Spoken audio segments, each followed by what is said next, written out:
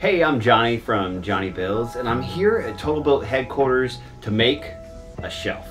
So kind of my idea was to do a tessellation pattern, which you guys know I've done before, but uh, this one is supposed to be nautical themed. I'm not sure if it's gonna come through that way, but uh, yeah, we did a floating shelf out of Sipo, which apparently, I didn't know this, is a form of mahogany.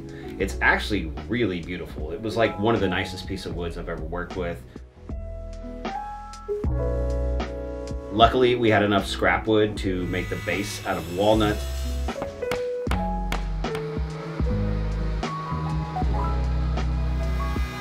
I created this wave pattern and uh, created a uh, shelf support out of that, and I think it turned out uh, pretty cool.